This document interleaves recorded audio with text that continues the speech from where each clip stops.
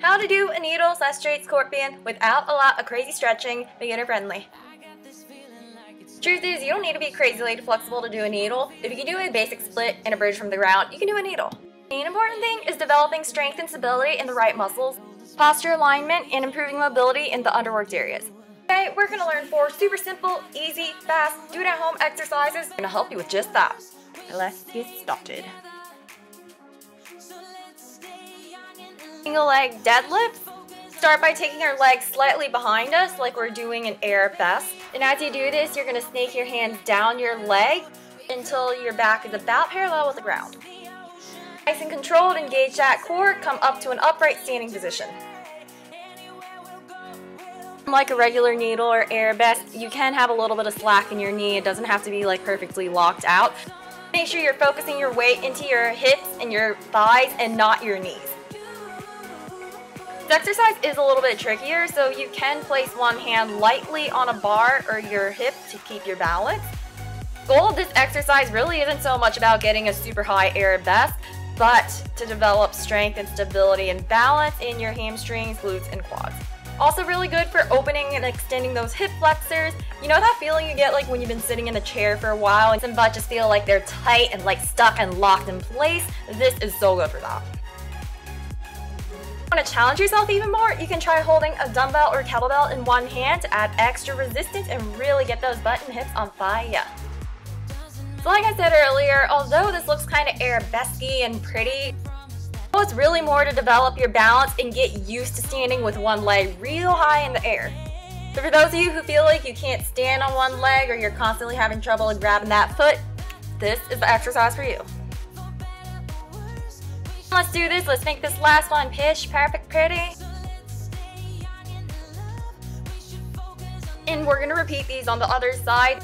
Or you can use the bar for stability if you need to, but try not to apply too much weight or pressure into it so that way you still get the full extent of this exercise.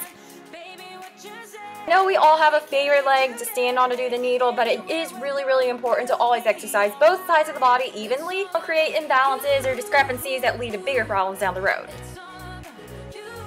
Remember, you can also add a mini kettlebell or dumbbell in one hand to add some extra resistance and really get that fire going on in those legs and hips.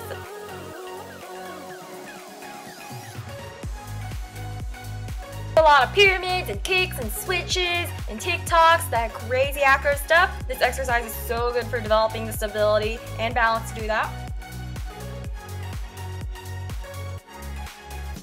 Nice and controlled, really engage that core and those legs.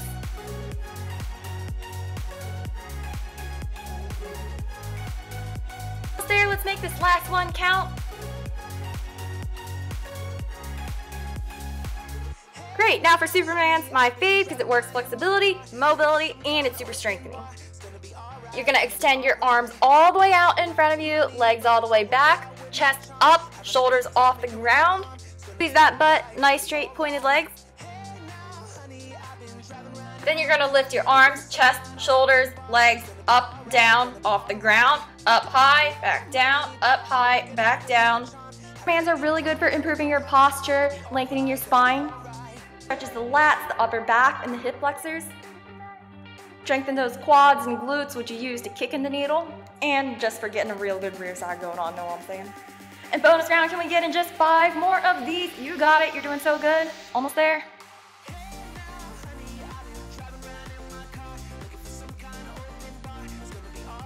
Next, we're gonna go into a flat back push-up plank position. Stagger those feet about shoulder width apart to keep your balance and stability. No high knees in the air and no torque butt either. Squeeze your abs and back muscles to really, really extend that back straight. Slow and controlled, you're gonna raise and extend one arm out in front of you, shoulder level.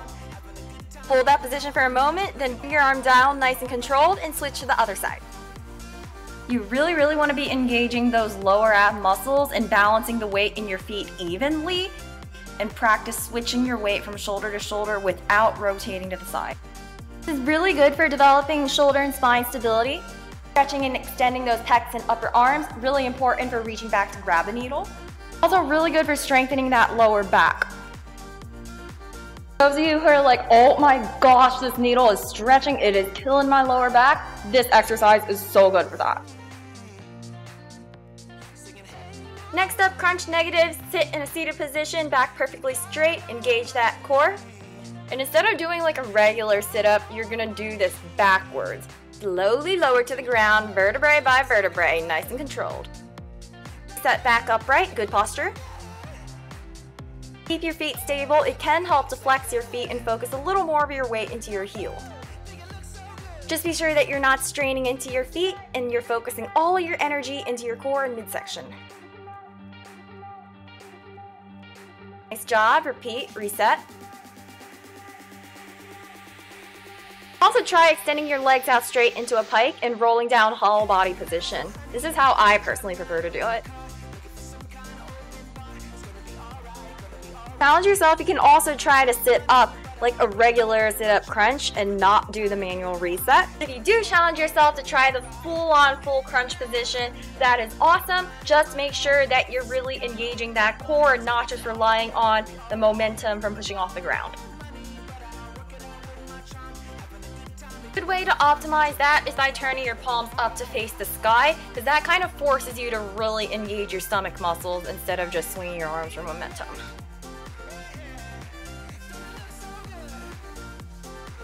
I'm rolling out that spine like it's an elegant scroll and as you do this you're keeping that stability in that core. Come on, keep going. We are almost there.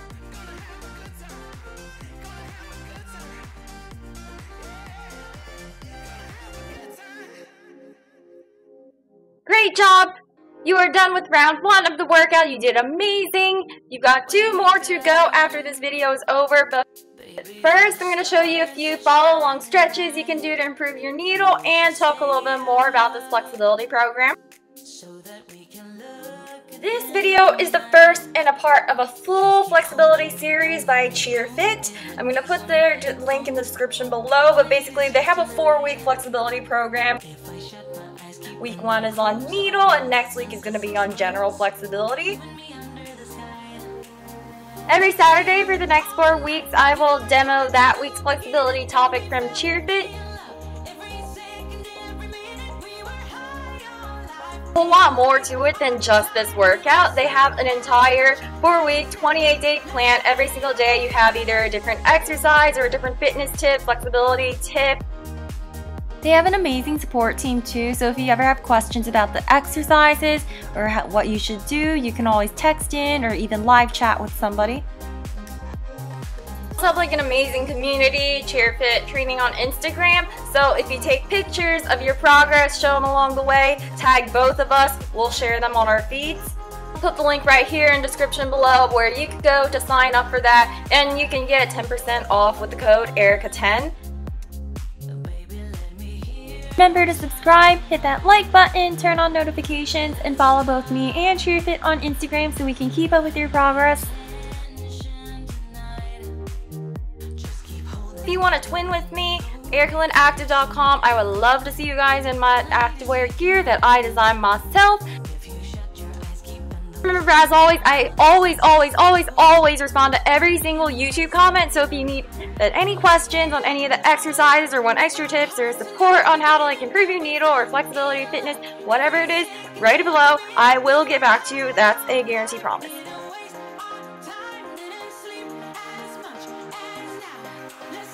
And I will see you in about 12 seconds at the beginning of this video because remember, that was round one, but you got two more to go to complete your needle workout more rounds. You got this. And once you've gotten to round three, give yourself a pat on the back because you did amazing. And that means I will see you in next week's CheerFit topic of Saturday, which is going to be general flexibility, brand new exercises, and bonus stretches. See you then. Bye.